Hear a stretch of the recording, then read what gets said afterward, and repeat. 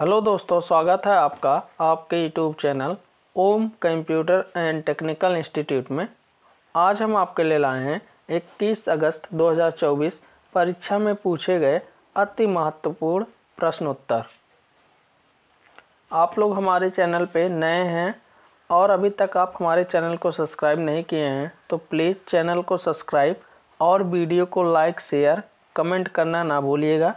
जिससे और भी स्टूडेंट हमारे चैनल से जुड़ सकें और अपने एग्ज़ाम की तैयारी को और बेहतर बना सकें। तो आइए आज की क्लास स्टार्ट करते हैं। पहला क्वेश्चन है, आपके एग्ज़ाम में पूछा गया था, लिब्रे ऑफ़िस राइटर में टेबल इंसर्ट करने के लिए किस शॉर्टकट कुंजी का उपयोग किया जाता है? तो आपके क्वेश्चन में पूछा गया था कि लिब्रे ऑफ़िस राइटर में अगर आप टेबल इंसर्ट करना चाहते हैं तो उसके लिए आप कौन सी शॉर्टकट कुंजी का उपयोग करेंगे या करते हैं या किया जाता है?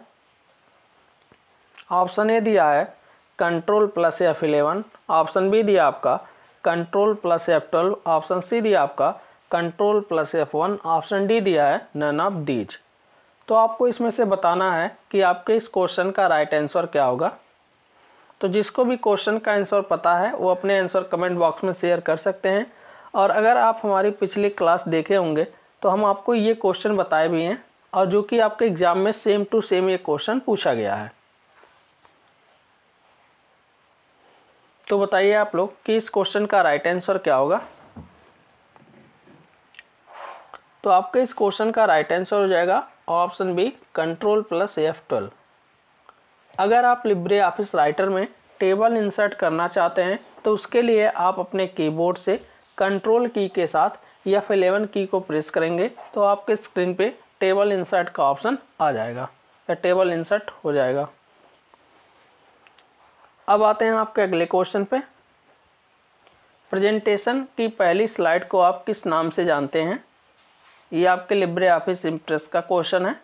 पूछा गया है कि प्रेजेंटेशन की जो पहली स्लाइड होती है, उसको आप किस नाम से जानते हैं? ये भी क्वेश्चन हम आपको पीछे की क्लास में बताए थे। जो कि आपके एग्ज़ाम में पूछा गया है। तो बताइए आप लोग कि प्रेजेंटेशन की जो पहली स्लाइड होती है, उसको हम किस नाम से जानते हैं? आप लोगों के एग्ज़ाम में आए हुए क्वेश्चन आप लोग हमारे व्हाट्सअप नंबर या टेलीग्राम चैनल पर ज़रूर शेयर करिएगा। जो भी क्वेश्चन आपको याद हो तो आपके इस क्वेश्चन का राइट आंसर हो जाएगा। Option C title slide presentation की जो पहली स्लाइड होती है, उसको हम टाइटल स्लाइड के नाम से जानते हैं। अब आते हैं आपके अगले क्वेश्चन पे। साटा का फुल फॉर्म क्या है? आपके क्वेश्चन में पूछा गया है यस ए टी ए का फुल फॉर्म क्या है? आपके नीचे चार ऑप्शन दिए गए हैं। इसमें से आपको बताना है कि कौन सा ऑप्शन इस क्वेश्चन का राइट आंसर होगा। तो जिसको भी क्वेश्चन का आंसर पता है, वो अपने आंसर कमेंट बॉक्स में शेयर करते रहिएगा। और आप लोग वीडियो को भी ज़्यादा से ज़्यादा शेयर करते रहिएगा जिससे और भी स्टूडेंट हमारे चैनल से जुड़ सकें और अपने एग्ज़ाम की तैयारी को और बेहतर बना सकें। तो चलिए बताइए कि आपको के इस क्वेश्चन का राइट आंसर क्या होगा? तो आपके इस क्वेश्चन का राइट आंसर हो जाएगा option A serial advanced techno technology attachment ये आपके इस क्वेश्चन का राइट आंसर हो जाएगा। सीरियल एडवांस्ड टेक्नोलॉजी अटैचमेंट ये आपके साटा का फुल फॉर्म होता है, जो एक प्रकार का केबल होता है, जिसका यूज़ हम सीपीयू में करते हैं। अब आते हैं आपके अगले क्वेश्चन पे। भारत का पहला सुपर कंप्यूटर परम कहाँ स्थित है? आपके क्वेश्चन में पूछा गया है कि जो भारत का पहला सुपर कंप्यूटर परम था, उसे कहाँ स्थित स्थित है? या उसे कहाँ स्थित किया गया था? तो आपके नीचे चार ऑप्शन दिए गए हैं। इसमें से आपको बताना है कि आपके इस क्वेश्चन का राइट आंसर क्या होगा। तो आप लोग अपने आंसर जल्दी जल्दी कमेंट बॉक्स में शेयर करिए और बताइए कि आपके इस क्वेश्चन का राइट आंसर क्या होगा।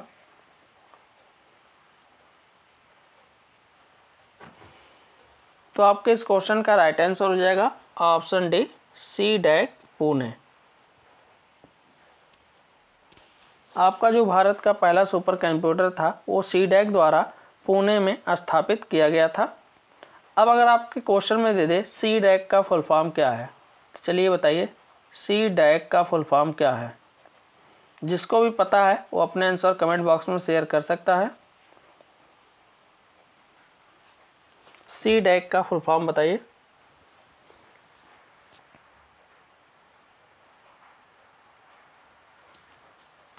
तो आपके सी डैक का फुल फॉर्म होता है centre.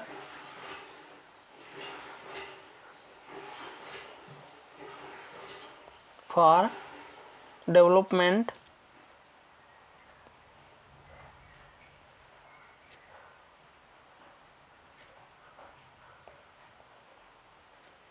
of advanced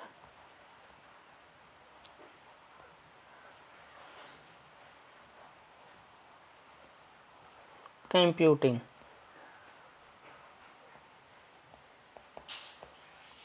ये आपके सी डैक का फुल फॉर्म होता है। तो इसको भी आपको याद रखना है भी आपके एग्ज़ाम में अगर पूछ सकते हैं। सी डैक का फुल फॉर्म बताइए तो centre for development of advance computing अब आते हैं आपके अगले क्वेश्चन पे। लिब्रे ऑफ़िस राइटर में चयनित टेक्स्ट पर लागू शैली को कॉपी करने के लिए निम्नलिखित में से किस विकल्प का उपयोग किया जाता है? ये भी क्वेश्चन आपको हम पिछले क्लास में बताए हैं। और ये भी क्वेश्चन आपके एग्ज़ाम में पूछा गया था। ऑप्शन ए दिया है कॉपी, ऑप्शन बी दिया क्लोन फॉर्मेटिंग, ऑप्शन सी दिया फॉर्मेटिंग मार्क्स, ऑप्शन डी दिया कट। तो आपको बताना है इसमें से इस क्वेश्चन का राइट आंसर क्या होगा? तो आप लोग अपने आंसर कमेंट बॉक्स में शेयर करिए और बताइए कि आपके इस क्वेश्चन का राइट आंसर क्या है। तो आपके इस क्वेश्चन का राइट आंसर हो जाएगा option B clone formatting clone formatting का यूज़ आप करते हैं। अब आते हैं आपके अगले क्वेश्चन पे। एक्सपोर्ट डायरेक्ट एज पीडीएफ विकल्प कहाँ मिलता है? आपके क्वेश्चन में पूछा गया है एक्सपोर्ट डायरेक्ट एज पीडीएफ विकल्प आपको कहाँ मिलता है? ऑप्शन ए दिया है drawing tool bar option B दिया है प्रेजेंटेशन ऑप्शन सी दिया है standard tool bar option D दिया है ऑल ऑफ़ द एबव तो आपको बताना है इसमें से इस क्वेश्चन का राइट आंसर क्या होगा? तो आप लोग अपने आंसर कमेंट बॉक्स में शेयर करिए। और बताइए आपके इस क्वेश्चन का राइट आंसर क्या है? तो आपके इस क्वेश्चन का राइट आंसर हो जाएगा option C standard tool bar standard tool bar में आपको एक्सपोर्ट डायरेक्ट एच पीडीएफ का विकल्प मिल जाता है। अब अगर आपके क्वेश्चन में दे दे पीडीएफ का फुल फॉर्म क्या है? चलिए बताइए। पीडीएफ का फुल फॉर्म क्या होता है? तो पीडीएफ का फुल फॉर्म आपका होता है पोर्टेबल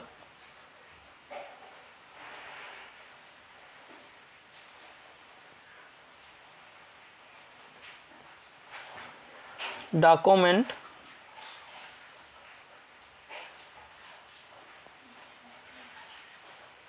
फॉर्मेट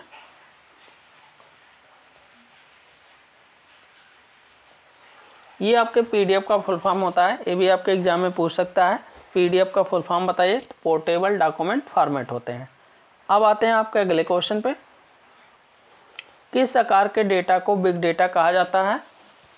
ऑप्शन ए दिया है गीगाबाइट ऑप्शन बी दिया है मेगाबाइट ऑप्शन सी दिया है मेटाबाइट ऑप्शन डी दिया है पेटाबाइट तो आपको बताना है इसमें से इस क्वेश्चन का राइट आंसर क्या होगा।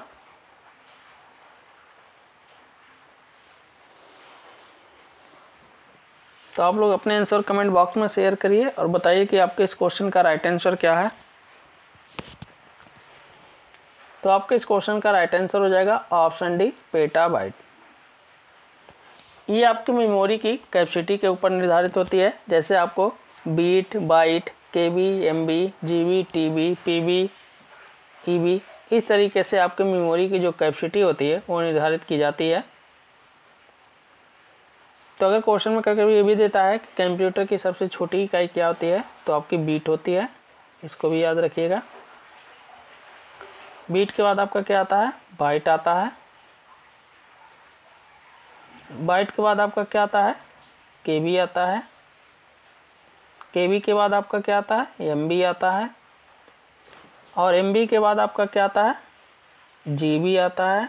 उसके बाद आपका क्या आता है? टी बी आता है। फिर आपका क्या आता है? पी बी आता है। उसके बाद आपका आता है ई बी उसके बाद आपका आता है जेड बी उसके बाद आपका आता है वाई बी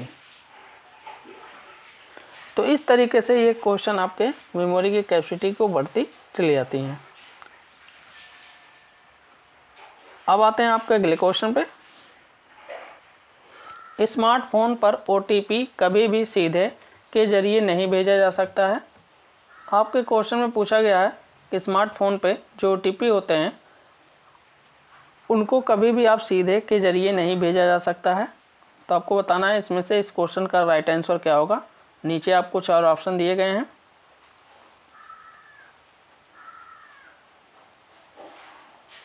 तो आप लोग अपने आंसर कमेंट बॉक्स में शेयर करिए और बताइए कि आपके इस क्वेश्चन का राइट आंसर क्या होगा।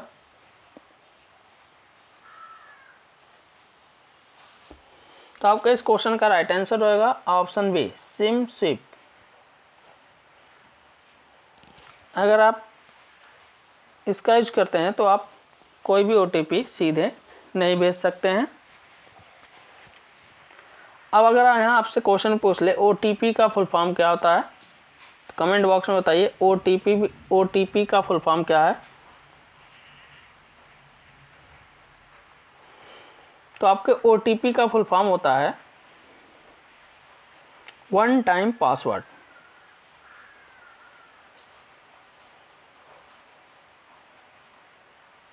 one time password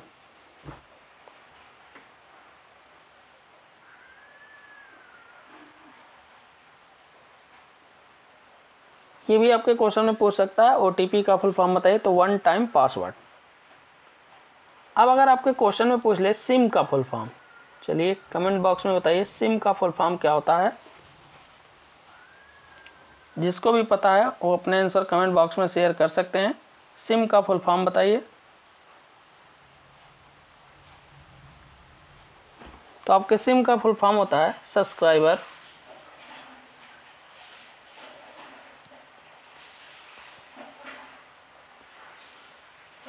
identity.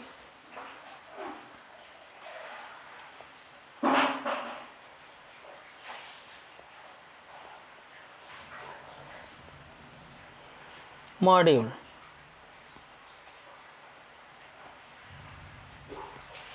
ये आपके सिम का फुल फॉर्म होता है, इसको भी आपको याद रखना है। अगर आपके क्वेश्चन में देता है सिम का फुल फॉर्म क्या होता है तो सब्सक्राइबर आइडेंटिटी मॉड्यूल्स अब आते हैं आपके अगले क्वेश्चन पे। निम्नलिखित में से कौन सा एक्सटेंशन लिब्रे ऑफ़िस से संबंधित नहीं है?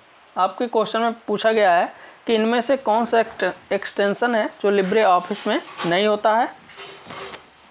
पहला ऑप्शन दिया आपका dot O D T option B दिया है dot O D S option C दिया है dot O D P option D दिया है डॉट आर टी एफ़ तो आप बताइए इसमें से इस क्वेश्चन का राइट आंसर क्या होगा? आप लोग अपने आंसर कमेंट बॉक्स में शेयर करिए और वीडियो को भी ज़्यादा से ज़्यादा शेयर करते रहिएगा, जिससे और भी स्टूडेंट हमारे चैनल से जुड़ सकें।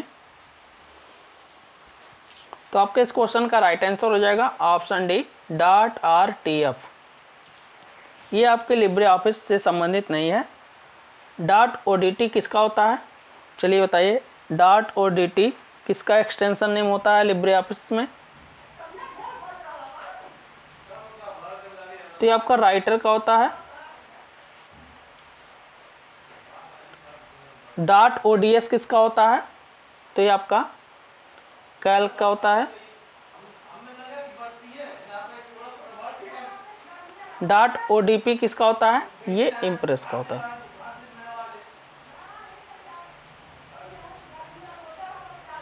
ये आपके लिब्रे ऑफ़िस राइटर का अगर एग्ज़ाम में पूछेगा तो डॉट ओ होता है। डॉट ओ पूछेगा तो कैल का होता है। डॉट ओ पूछेगा तो आपका इम्प्रेस का होता है। डॉट आर किसका होता है? तो ये आपके वर्ड वाइड की फ़ाइल होती है। इसका फुल फॉर्म होता है रीच टेक्स्ट फॉर्मेट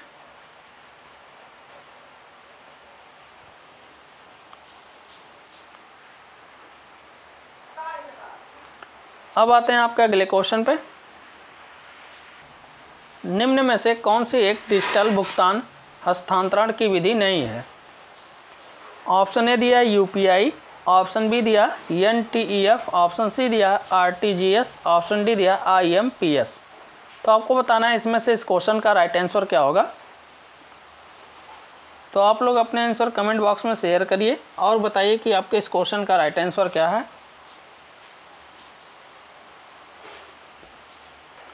तो आपके इस क्वेश्चन का राइट आंसर हो जाएगा ऑप्शन बी ये आपका डिजिटल भुगतान स्थानांतरण की विधि नहीं है। बाकी आपका यूपीआई है आरटीजीएस है आईएमपीएस है। अगर आपके क्वेश्चन में यूपीआई का फुल फॉर्म पूछ ले चलिए बताइए यूपीआई का फुल फॉर्म क्या होता है? ये भी आपको क्वेश्चन हम कई बार बताएँ यूपीआई का फुल फॉर्म बताइए। तो इसका होता है unified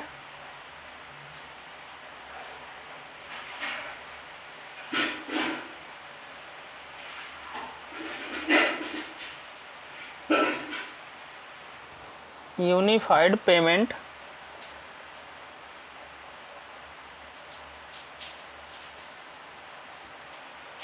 interface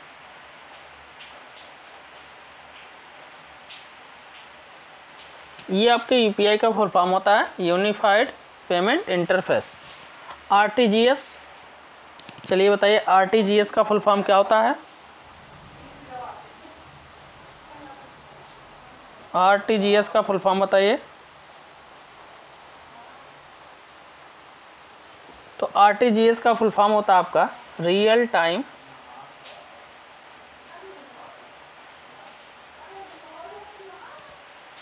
gross settlement.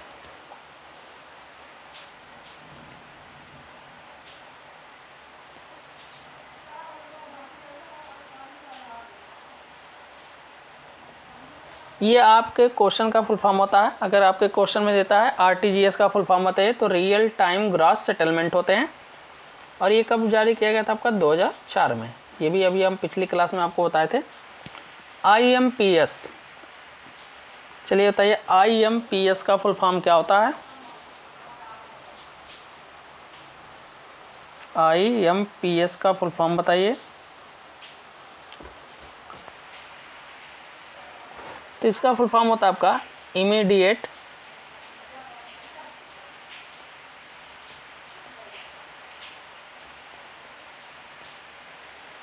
payment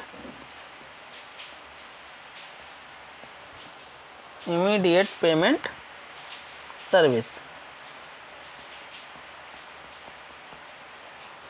ये इसका full form immediate payment system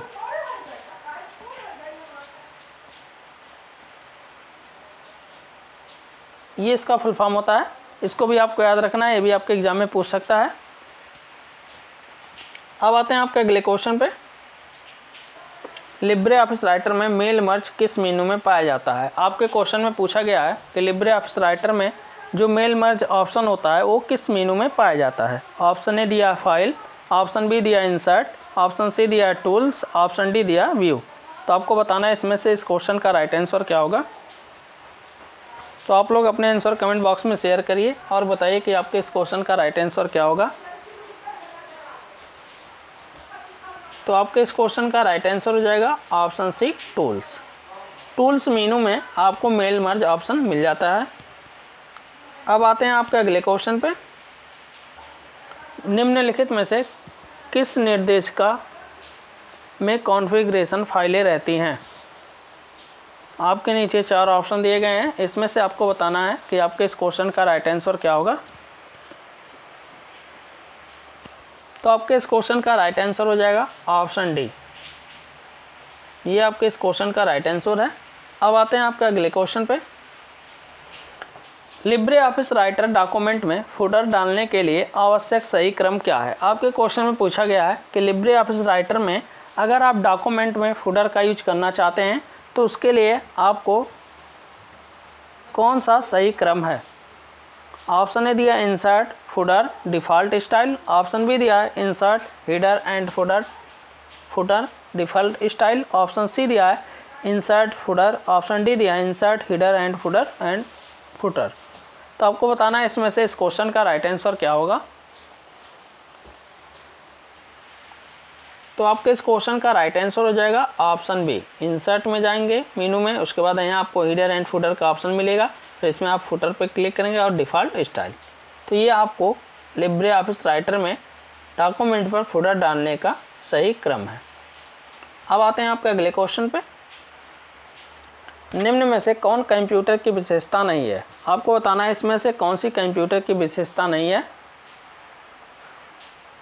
आपको नीचे चार ऑप्शन दिए गए हैं। इसमें से आप बताइए कि आपके इस क्वेश्चन का राइट आंसर क्या है। और आप लोग वीडियो को भी ज़्यादा से ज़्यादा शेयर करते रहिएगा। जिससे और भी स्टूडेंट हमारे चैनल से जुड़ सकें। और अभी तक आप हमारे चैनल को सब्सक्राइब नहीं किए हैं तो प्लीज़ चैनल को सब्सक्राइब और वीडियो को लाइक शेयर करना ना भूलिएगा। तो आपके इस क्वेश्चन का राइट आंसर हो जाएगा ऑप्शन डी फीलिंग आपके कंप्यूटर में फीलिंग नहीं होती है, क्योंकि कंप्यूटर आपका एक मशीन है। अब आते हैं आपके अगले क्वेश्चन पे। एक प्रिंटर का रिजोल्यूशन डीपीआई में मापा जाता है। ऑप्शन ए दिया ट्रू, ऑप्शन बी दिया फॉल्स आपको बताना है कि जो प्रिंटर की क्वालिटी होती है, यानी गुणवत्ता, उसको आप डीपीआई में मापते हैं।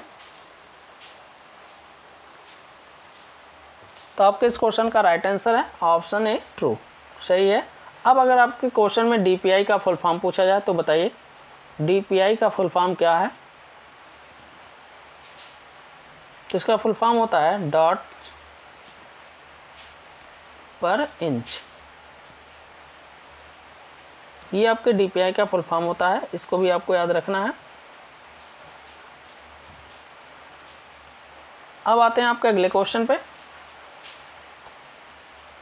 निम्नलिखित में से कौन लिब्रे ऑफ़िस सूट का एक कंपोनेंट नहीं है? आपके क्वेश्चन में पूछा गया है, इनमें से कौन सा लिब्रे ऑफ़िस सूट सॉफ्टवेयर का एक पार्ट नहीं है? ऑप्शन ए दिया है राइटर ऑप्शन बी दिया एक्सप्लोरर ऑप्शन सी दिया है इम्प्रेस ऑप्शन डी दिया है बेस तो आपको बताना है इसमें से इस क्वेश्चन का राइट आंसर क्या होगा? तो आपके इस क्वेश्चन का राइट आंसर हो जाएगा ऑप्शन बी एक्सप्लोरर एक्सप्लोरर ये नहीं है आपका। आप आते हैं आपका अगले क्वेश्चन पे। लिनक्स में प्रक्रिया या कार्य को दर्शाया जाता है। आपके क्वेश्चन में दिया है जो लिनक्स ऑपरेटिंग सिस्टम होता है, उसकी जो प्रक्रिया या कार्य को आप दर्शाते हैं आपके नीचे चार ऑप्शन दिए गए हैं। इसमें से आपको बताना है कि इस क्वेश्चन का राइट आंसर क्या होगा। तो आप लोग अपने आंसर कमेंट बॉक्स में शेयर करिए और बताइए कि आपके इस क्वेश्चन का राइट आंसर क्या है।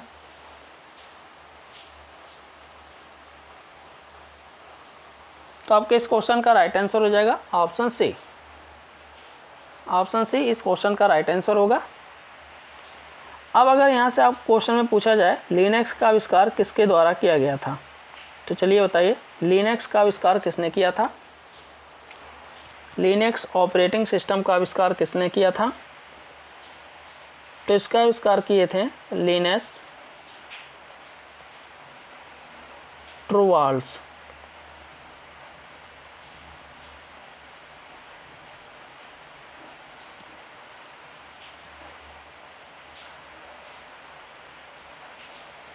इसको भी आपको याद रखना है, ये भी आपके क्वेश्चन में पूछ सकता है। और अगर आपके क्वेश्चन में दे लिनक्स किस प्रकार का ऑपरेटिंग सिस्टम है? चलिए बताइए लिनक्स किस प्रकार का ऑपरेटिंग सिस्टम है? तो लिनक्स आपका एक ओपन सोर्स है।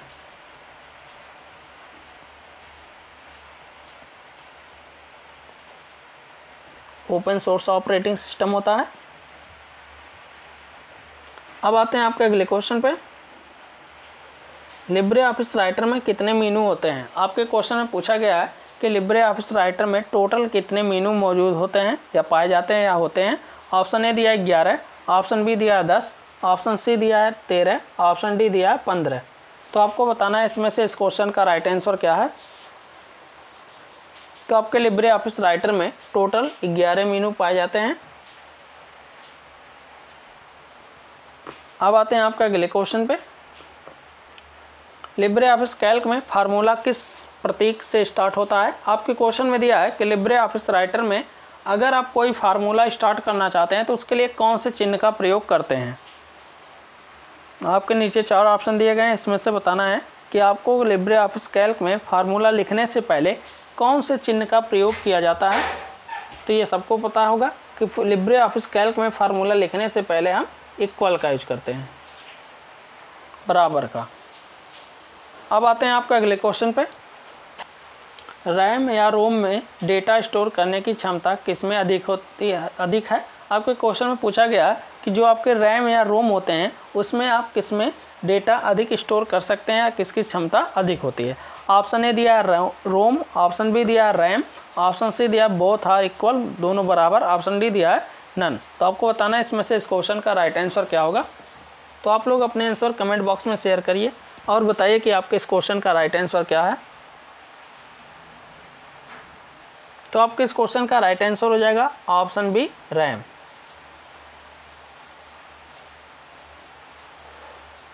रैम की कैपेसिटी आपके रूम से अधिक होती है।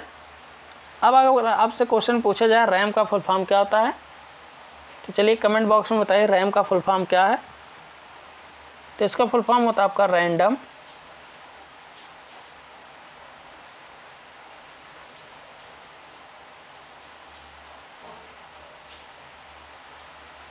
एक्सेस मेमोरी और रोम का फुल फॉर्म क्या होता है? चलिए कमेंट बॉक्स में बताइए, रोम का फुल फॉर्म क्या होता है?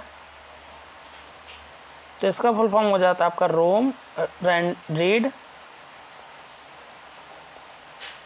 only read, only, memory. ये आपके रैम और रोम का फुल फॉर्म होता है। अगर क्वेश्चन में दे दे, रैम किस प्रकार की मेमोरी होती है? तो रैम आपकी अस्थाई मेमोरी होती है। और जो कि आपका, सॉरी, रोम आपका अस्थाई मेमोरी होता है और रैम आपका अस्थाई मेमोरी होता है।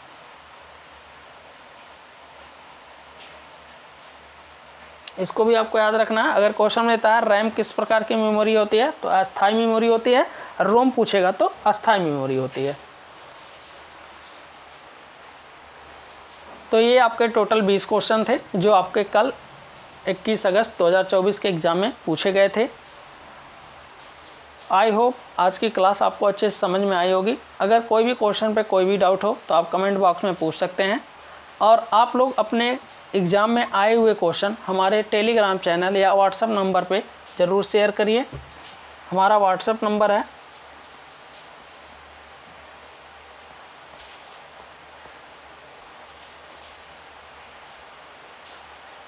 इस नंबर पे आप लोग ज़रूर शेयर करिएगा।